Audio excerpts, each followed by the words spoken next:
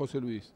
¿Por qué? Porque yo sé que eh, de Francia uno puede esperar una respuesta, podés esperar una respuesta que te gusta, una respuesta que no te gusta, pero sabes que lo que te dice es lo que debe ser.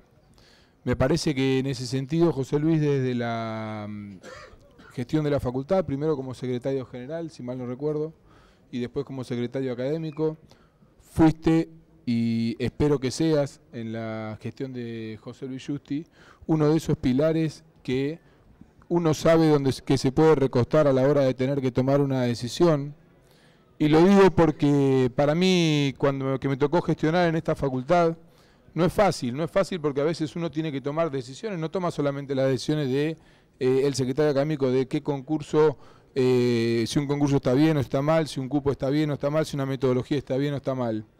A la hora de tomar esas decisiones, eh, yo como secretario de extensión siempre pude contar con José Luis Franza, me consta lo que es como docente y creo que en la futura gestión de José Luis Justi, vos, José Luis, vas a ser uno de los pilares fundamentales y posiblemente me toque estar o no, pero seguramente cada uno de los que sea, docentes, estudiantes, graduados, secretarios, incluso estoy seguro que hasta de las minorías estudiantiles vas a ser una de las personas más consultadas para cada uno de los temas, porque todos sabemos que cada vez que nos sentamos eh, a hablar con vos, la respuesta va a ser la que debe ser.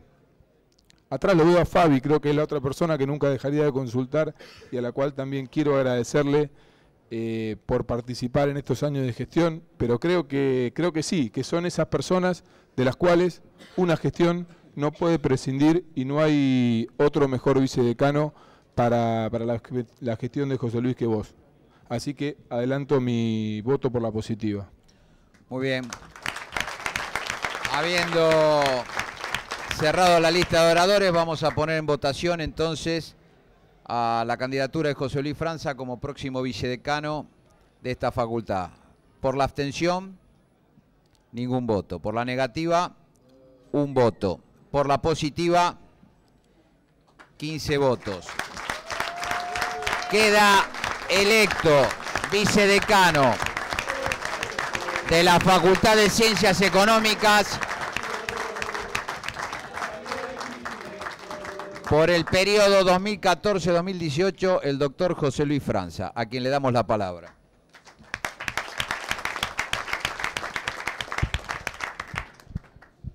Bueno, señor decano, me siento obligado a ser breve y voy a intentar serlo. Eh, creo que este es un momento de alta significación y lo digo porque esta es una sesión especial que se lleva adelante cada cuatro años, donde se elige nada menos que el decano y el vicedecano, y se viene llevando a cabo sistemáticamente en estos últimos años sin solución de continuidad, y cada una de esas sesiones confluye en, la elección del decano y del vicedecano. Debemos estar contentos y orgullosos de que esto sea así. Esta sesión especial llevada a cabo por el Consejo Directivo, el Consejo Directivo es un órgano político, el temario que se trata es político. Los que estamos sentados alrededor de esta mesa hacemos consideraciones políticas y por si todo eso fuera poco, el numeroso público que nos acompaña hace que esto sea todavía más político. En ese contexto voy a intentar decir algunas cosas tratando de abstraerme en lo posible de cuestiones de orden política, porque ya se han dicho todas. Creo que todos los que se han expresado acá en este momento y en esta oportunidad lo han hecho con absoluta libertad, más allá del folclore estudiantil y de las chicanas que andan dando vuelta, que son inevitables y a veces creo que hasta son esperables. Creo que todos se han expresado con libertad. El decano le ha preguntado a cada uno si quería hacer uso de la palabra, el que lo deseó hacer lo hizo y todos empezaron y terminaron su discurso. Creo que, y, entiendo que es en este sentido que podemos decir que hay una relación directa con la gestión que hemos venido. Bueno, te decía que no iba a hablar, lo voy a decir igual porque ya me lancé. Decía que no iba a hacer consideraciones políticas, pero ahora ya empecé. Esta gestión que hemos llevado a cabo, o que se viene llevando a cabo, se basa fundamentalmente en dos aspectos, que son el consenso y la conciliación. Sobre eso nos hemos estado apoyando para tratar de hacer cosas. Y los logros que pudimos haber obtenido inclusive los que no obtuvimos, siempre se han apoyado en estos dos elementos. Para gestionar, todo el mundo utiliza técnicas de administración. Lo bueno es saber cómo mejoramos la interrelación entre las personas. Y la interrelación entre las personas se mejora y se potencia a partir precisamente de esto que yo estoy mencionando. Y no es que no haya voces divergentes, que sí las hay, existen esas voces divergentes. Ocurre que de alguna manera terminan prevaleciendo o termina prevaleciendo este formato, esta modalidad, esta orientación de hacer las cosas y que tiene que ver básicamente con el diálogo, con expresar las opiniones propias, con respetar las ajenas y fundamentalmente con escuchar, cosa que hemos intentado hacer cada vez que nos ha sido posible. Hay, a veces uno tiene que luchar contra la sociedad actual tecnologizada que nos lleva a dialogar sin escuchar. Hay tanta tecnología dando vuelta que todo lo hacemos por correo electrónico, lo hacemos por mensaje de texto, siempre nos estamos comunicando y muy pocas veces estamos escuchando. Creo que esta es una de las premisas que hemos intentado nosotros llevar adelante. Precisamente esa, la de escuchar, la de sentarnos y mirarnos a los ojos y poder decirnos exactamente qué es lo que pensábamos. Estamos convencidos que este es el camino que, recorrimos y es el camino que habremos de recorrer. Y para bueno, salirme un poco de este tema y hablando de caminos recorridos, yo hace ya un rato que vengo pensando que desde que traspuse por primera vez la puerta de la calle Córdoba, hace ya varias décadas, tal vez demasiadas, no, no me pude imaginar jamás todo lo que iba a depararme estas paredes, estas puertas, esta casa, esta Facultad de Ciencias Económicas. Ni, ni siquiera cuando me gradué y empecé en aquellos lejanos días como ayudante de segunda interino ad honorem durante mucho tiempo, imaginé que iba a poder llegar a donde estoy hoy. Sinceramente no lo pude imaginar nunca. Creo que nadie lo pudo imaginar. Seguramente en los pasillos y en las aulas, porque hasta ahora los alumnos cursan, se debe encontrar aquel que dentro de algunas décadas vaya a ser el decano, el vicedecano, el secretario académico, el titular de alguna cátedra. Seguro que no se lo imagina. Yo le preguntaría a usted, decano, si cuando se paraba en las paredes a consultar las planillas tapadas con nylon para que el agua de la lluvia no borronee la tinta, se imaginaba que iba a tener esta participación que está teniendo en la Universidad de Buenos Aires y la que por lo que se ve va a seguir teniendo. No me diga nada, yo estaba ahí, así que no. No se lo imaginaba, no se lo podía imaginar de ninguna manera. Y todo este camino recorrido hace que yo hoy me sienta agradecido y orgulloso Me siento agradecido y orgulloso por la distinción de la que soy objeto por parte de mis colegas profesores, por parte de mis colegas graduados y por parte de mis colegas estudiantes, porque en definitiva, en la vida todos son ciclos son circunferencias que se van cerrando y cuando una circunferencia se cierra es un ciclo que se termina solamente para que cambien los protagonistas, se abra otro y el ciclo se reinicie. O sea que en definitiva nosotros también somos colegas. Y quiero decir, y esto me pone muy contento, que quienes hoy participan de este consejo directivo, yo soy miembro del consejo directivo, de alguna forma nos constituimos en los verdaderos y auténticos representantes de cada uno de los claustros, porque hemos llegado hasta acá con un estricto y meticuloso apego al estatuto universitario y a su normativa concordante. En este sentido, es una cuestión que realmente me hace sentir muy bien. Y ahora quisiera hacer una cita, porque esta es una sesión especial, porque dije que me iba a abstraer de las cuestiones políticas, cosa que ya pensaba hacer de antemano, porque voy a citar a Borges, y lo voy a citar porque yo soy un lector aficionado que lo admiro, porque a alguno le puede interesar, y porque además me ha ayudado a darme cuenta cómo podía ser para decir ciertas cosas. Entonces, voy a leer una cita que es muy breve y que es un pequeño prólogo que Borges hace en sus obras completas previo al texto de Fervor de Buenos Aires. Dice así, dirigido a sus lectores, y cito textual, dice, a quien leyere, si las páginas de este libro consienten algún verso feliz, perdóneme el lector la descortesía de haberlo usurpado yo previamente. Nuestras nadas poco difieren. es trivial y fortuita la circunstancia de que tú seas el lector de estos ejercicios y yo su redactor. Bueno, yo hubiese querido decir esto. A mí me daba vuelta en la cabeza cómo podía decir esto y no encontraba la manera, y me acordé que existía esto. Borges se equipara, se equipara conmigo, me dice a mí que soy el lector y, y se disculpa conmigo. Ponen un pie de igualdad a ambos. Y yo digo, es que no tiene importancia.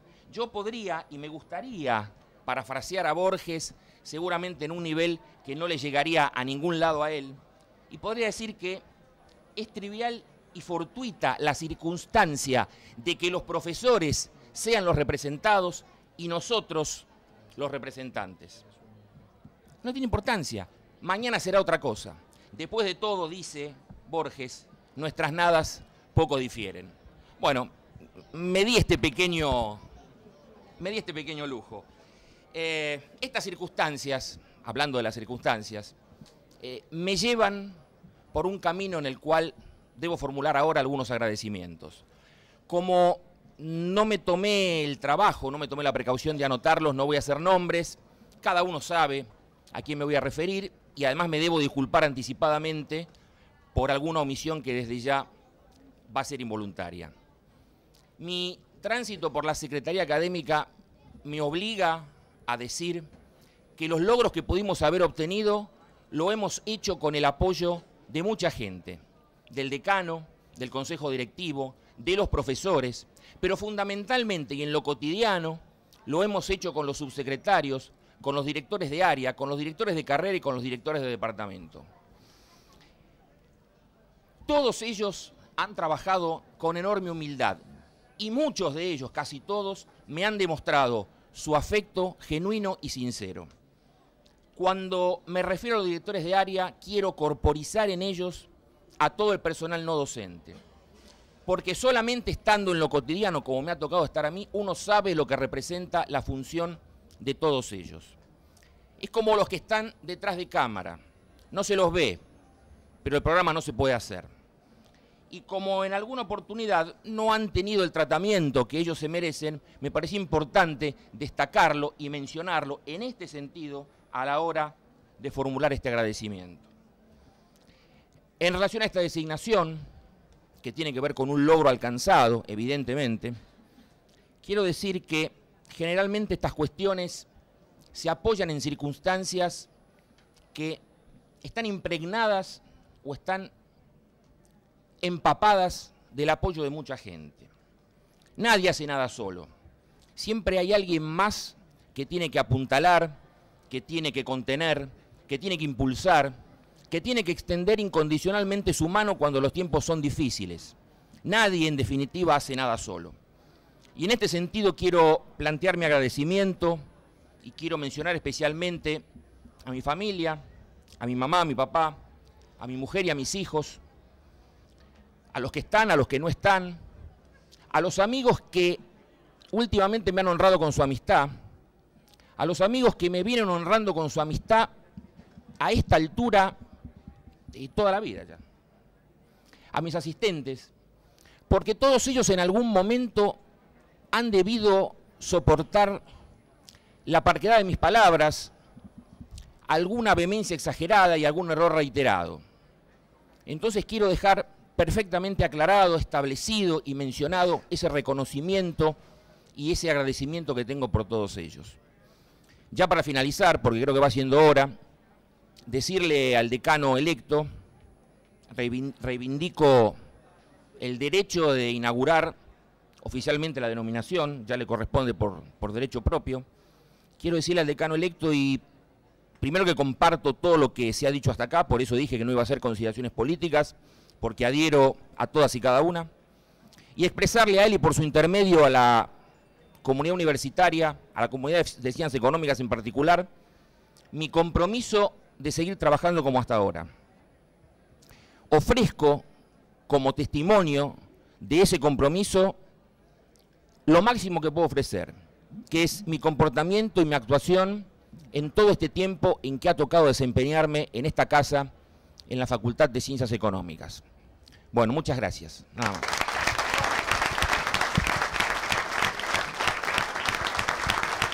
Bueno, para concluir, para concluir y después de eso damos por cerrada la, la terminada la sesión, vamos a darle la palabra, porque me lo ha solicitado muy especialmente, el decano electo que hará la última intervención. Sí, primero para disculparme enormemente. La verdad que mis hijos me dejaron practicar y, ver de lo que iba a hablar hoy y me faltó eh, un agradecimiento enorme, enorme a los no docentes de esta facultad. Eh, yo, yo decía, yo decía que los profesores me enseñaron casi todo lo que sé, mucho de lo que sé, porque el resto de lo que sé me lo enseñaron los no docentes de esta facultad. Realmente a través de los años que estuve de gestión acá, he tenido una compañía eh, muy cercana, muy cercana, hemos trabajado mucho juntos, eh, me he hecho amigo de muchos de ellos, eh, como siempre hago la, un poco, no, sé si la fácil, pero para, para no, que nadie quede herido voy a, voy a mencionar a dos que no están, a Oscar Alonso y a Víctor García. Me enseñaron mucho ellos. Y, y no tengo duda que, que me van a acompañar en esta, en esta gestión. No tengo duda que nada de lo que se hizo se hubiera podido hacer eh, sin el apoyo permanente, cotidiano, que, que ellos le dan a las distintas gestiones de la facultad. Y después, por último, el, beneplácito y el agradecimiento a este consejo directivo por designar a, José Luis Franza como vicedecano. Eh, la verdad es que si había alguna duda o alguien tenía alguna duda de, mi promesa de continuidad, me parece que la designación de José Luis como vicedecano la garantiza. Él ha sido un baluarte desde la Secretaría General y de la Secretaría Académica de, de esta gestión y no tengo ninguna duda que también será un baluarte en la próxima gestión. Gracias a todos y celebremos que hoy es un día muy importante en la democracia de esta facultad.